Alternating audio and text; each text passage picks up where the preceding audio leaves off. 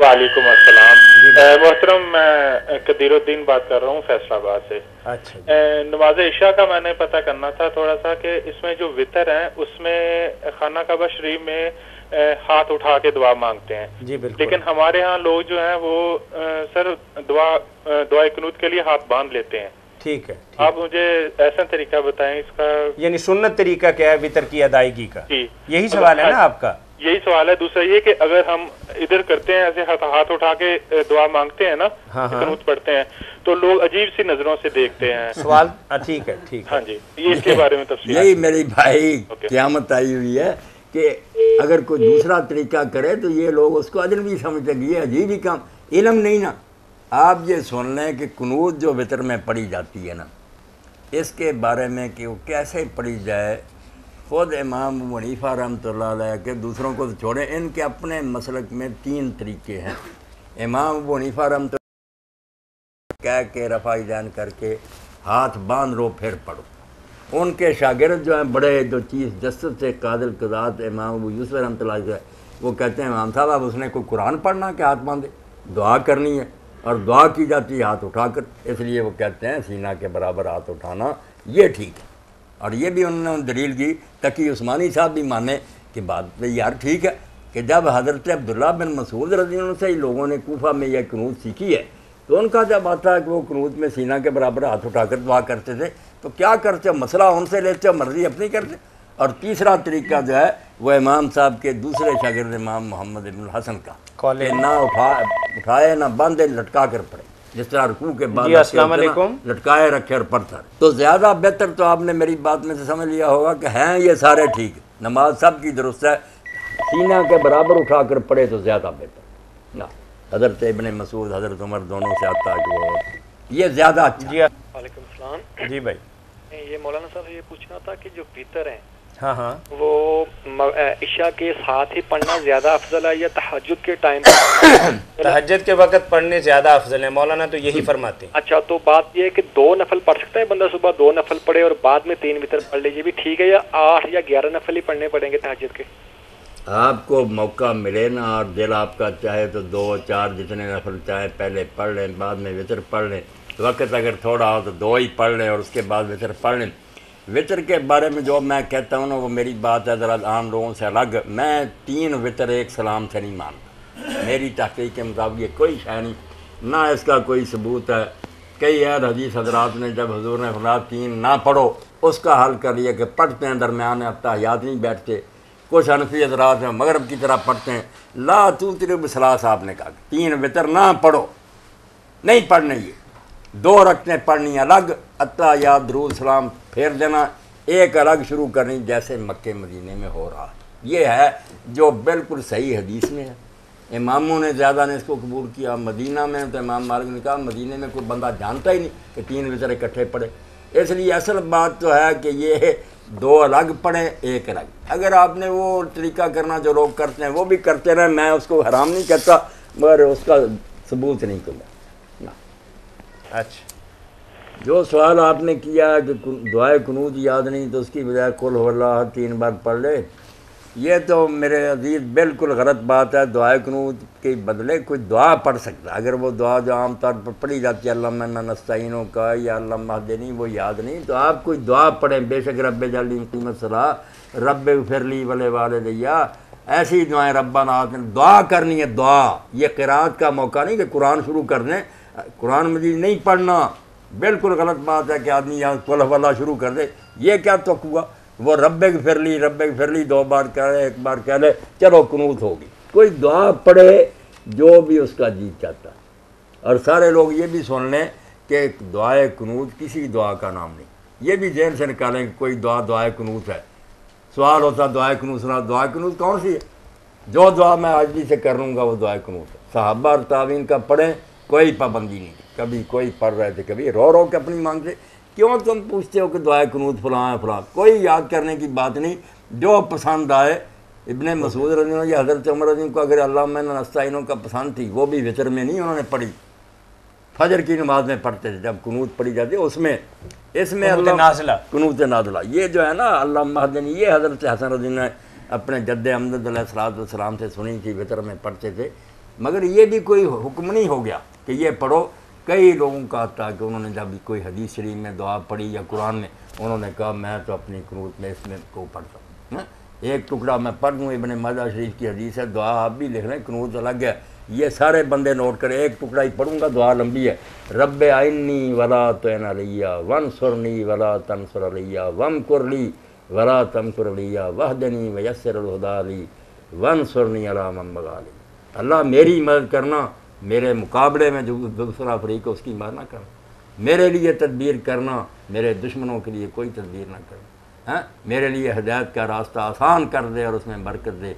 और जो मेरे ख़िलाफ़ हैं, मुझ पर ज़्यादती करते हैं, उनके मुकाबला मेरी मदद आगे भी लंबी दुआ, जो उस रावी ने कहा, यार, मुझे इतनी पसंद है, मैं अपनी कनूत में ये पढ़ ये मैंने इसलिए कह दिया कनूत में आप करोड़ दुआ भी जमा कर सकते हैं। देखते नहीं हरम शरीफ में जब इमाम दुआ करते हैं पौना पौना घंटा करते कनूत को खुला करें कि आजी से दुआ कनूत आजी आजी से जो दुआ करेंगे वो कनूत मस्जिद इसलिए कुल वल्ला नहीं पढ़ कुल वल्ला तो कुरान शुरू कर दिया दुआ तो रही ना। ठीक है। दूसरी बात ये मस्जिद के मस्जिद में सवाल। हाँ। ये बिल्कुल गलत बात मशहूर है कि मस्जिद में सवाल करना हराम है। लिख कर भी कई लोगों ने कहा मस्जिद में सवाल करना हराम है। हदीस पाक हजूर की तरफ़ मनसूब कर दी कि जो मस्जिद में मांगने वाले को देगा क़्यामत के दिन अल्लाह ताला एक रुपए के बदला में उससे सत्तर मांगेगा। कि आप सत्तर अदा करो तुम्हारी क्यों मस्जिद में दिया था? झूठ पर झूठ बोलते जाते हैं। कोई अल्लाह के रसूल ने ऐसी बात नहीं की। साहिलों के लिए हजूर भी कहते थे साहिल भी कहते थे। बाब सवाल फिर मस्जिद यबू दाऊ शरीफ में निकाल कर देखें कि मस्जिद में ही सवाल किया दिया उसको सिर्फ़ ये है कि मांगने वाले भी कुछ अल्लाह का खौफ करें। एक तो अगर कोई वाकई हाजतमंद नहीं तो सवाल नहीं करना चाहिए। बड़ा गुनाह है क्यामत के दिन गोश्त नहीं होगा खून बह रहा होगा। कि तुम क्यों मांगते अस्सलाम वालेकुम वालेकुम सलाम। जी भाई। बस बोल रहा हूँ।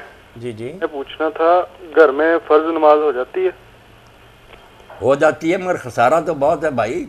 सत्ताईस नमाजें छोड़कर यहाँ तो टके टके पर ध्यान देते हैं कि वहाँ से ये नफ़ा हो रहा वहाँ से।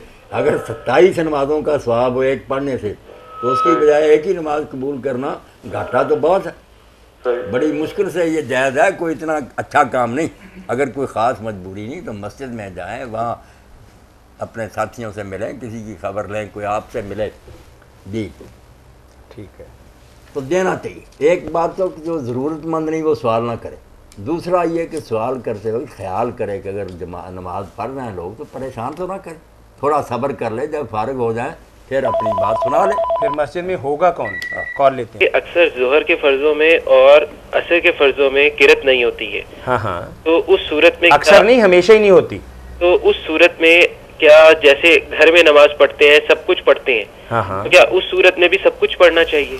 हाँ बिल्कुल मेरे बच्चे ठीक है। असल में दो चीज़ें दुरुस्त करनी चाहिए सवाल में। एक तो जो है ना आलम भी है दूसरे महफिल किरत। आपने भी किरत लफ्ज बोला किरत नहीं बोलना चाहिए। किरत तो औरतों को हैज़ आता है ना उसको कहते हैं किरात लंबा करके किरात ये है पढ़ने का मसदर।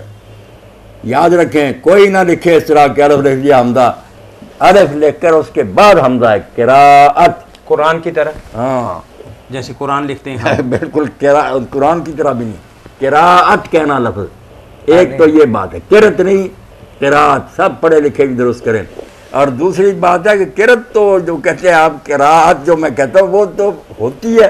ज़ोर में भी असल में कुरान पढ़े के बगैर तो नमाज़ नहीं। जहर कहना था। आपने असल में कहना था सिद्दीकी साहब जहर। नमाजों में ऊँची पढ़ा जाता है कुछ में नहीं। ये नहीं कह सकते किरात नहीं होती। इमाम साहब या अकेला अकेला हर शख्स अलहम शरीफ भी पढ़ता है सूर भी पढ़ता है। किरात के बगैर तो नमाज़ नहीं। बंदे ऊँची पढ़ने को कहते हैं किरात नहीं। किरात आहिस्ता भी हो ऊँची हो अलग बात। जहर से होगी या खुफिया होगी। तो आपका सवाल असर में यही है तो ठीक करने की बात थी ना कि ज़ोर असर की नमाज़ में किरात। आप सुने। हाँ। क्या आपका मंशा जो था वो सिर्फ़ मैंने अल्फाज की सलाह की कि ज़ोर असर में ऊँची आवाज़ से नहीं पढ़ा जाता तो आप पूछते हैं कि अब जब आदमी तनहा पढ़ता है तो वो अलहमशरी भी पढ़ता है सूरत भी पढ़ता तो क्या इमाम के पीछे और चूँकि आवाज़ नहीं, इमाम की आती, उसे भी हुक्म आहिस्ता पढ़ने का।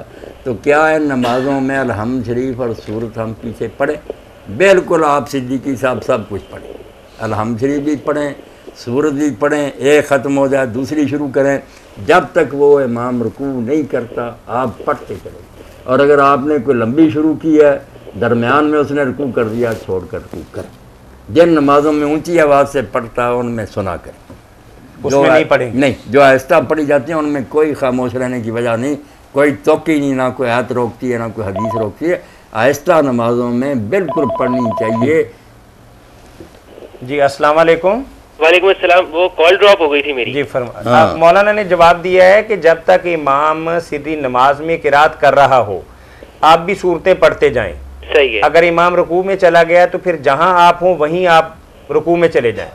लेकिन अक्सर औकात अगर इंसान देर से जमात में मिले और वो सूर्य फातिहा के दौरान ही रुकू आ जाए तो क्या वो सूर्य फातिहा को छोड़ के रुकू में जाए या उस, उसके सूर्य फातिहा मुकम्मल करके रुकू में जाए? सिद्दीकी साहब जब इमाम रुकू कर लेना रुकू में चला गया आप फातिहा आदि है या छो- थोड़ी है या बिल्कुल नहीं पड़ी छोड़ें उसको रुकू में जाएँ इमाम की पैरवी करें ये काम तो बिल्कुल बेढंगा होगा ना कि इमाम रुकू है मैं आप खड़े पढ़ रहे हैं ये फिर इक्तदा तो ना ना हुई बाकी फ़िक्र ना करें कुछ पढ़ा या नहीं पढ़ा जब रुकू मिल गया ना आपको तो रकत आपको मिल गई। अल्लाह अल्लाह खैर बहुत मेहरबानी मौलाना। जी अस्सलाम वालेकुम। वालेकुम सलाम। जी भाई जी मौलाना साहब से ये पूछना था जब इमाम इशा की नमाज़ पढ़ते हैं या ज़ोर की मगरिब की पढ़ते हैं तो वो किरत करता है पहली दो रकत में? जी जी। तो उसके पीछे जो मुक्तदी हैं वो भी अलहमद या सूरा पढ़ेंगे और पढ़ेंगे और जब इमाम चुप कर जाता है आखिरी जो दो रिकत आती है ईशा में चार रिकत होती है ना फ़र्ज़ की तो आखिरी दो रिकत में भी फिर वो सूरा या अलहमद शरीफ उसके पीछे पढ़ेगा या चुप रहेगा इमाम के पीछे? चलें बात वाजे होगी। ठीक है जी मौलाना फरमाइए। क्या फरमाया? वो वही सवाल कर रहे हैं कि किरा खलफल इमाम। हाँ, इमाम के पीछे मुक्तदी पढ़ेगा या नहीं पड़ेगा? पढ़ेगा, या फ़र्ज़ में। और जहरी का भी पूछा है और सिर्री का भी पूछा है। हाँ। भाई कीरो काल का मैदान तो है वसी। चौदह सौ साल से ये झगड़ा चल रहा है। ढेरों किताबें हर फरीक ने लिख दी हैं। सब के पास कुछ ना कुछ है भी। मगर बात जो है ना इंसाफ की और हक की वो ये है कि जहरी नमाजें जो है ना इनमें तो खामोश रह कर इमाम की किरात सुनना फातिहा भी और दूसरी सुर भी यही बेहतर है। ना गड़बड़ करे, सुने, तवज्जो से खुशू खुशू से। इन जब वो इमाम की नमाज़ के, फातह के बाद आमीन कह देगा ना तो सारी फातह उसने पढ़ी ली। दूसरी जो नमाजें हैं जिनमें आहिस्ता पढ़ता है, उनमें अरहम शरीफ भी पढ़नी चाहिए बिन रखतों में इमाम साथ सूरज मिलाता सूरतें भी मिलानी चाहिए। ये इंसाफ की बात है जो बड़े बड़े हनफी और मावी मान गए कि झगड़े की बात अलग है, इंसाफ की बात यही है। बाकी जो हर नमाज़ में पढ़े मगर इमाम को डिस्टर्ब ना करे, अच्छे तरीक़ा से आहिस्ता आहिस्ता पढ़ ले। गुनाह वो भी नहीं करता। हज़रत उमर जैसे उबादा बिन सामत, अबू रहरा ऐसे चोटी के लोग ना, ऊँची रकतों में भी इमाम के पीछे फातिहा पढ़ते थे। इसलिए कहा है ना, मुँह में पत्थर पड़ेगा, बकवास। ये भी नहीं कहना चाहिए, पढ़ भी सकते हैं, मगर पढ़ना आराम से है कि इमाम को ना खरा तंग करे। और अगर ना पढ़े, बिल्कुल किसी नमाज़ में भी ना पढ़े तो ऐसे भी साहबा कराम मौजूद थे जो इमाम के पीछे नहीं पढ़ते थे। खुद इमाम बुखारी रहमत अपने रसाला जुजल किरात में मानते हैं कि जैद बिन साबित काकब वही अब्दुल्ला बिन मसूद अब्दुल्ला बिन उमर जैसे लोग इमाम के पीछे नहीं पढ़ते एक चौथा ग्रोह भी था जिसका इन मौलवियों को नहीं इल्म कि वो किरात नहीं करते ये मैं बताऊँगा आज नया ही। जी अस्सलाम वालेकुम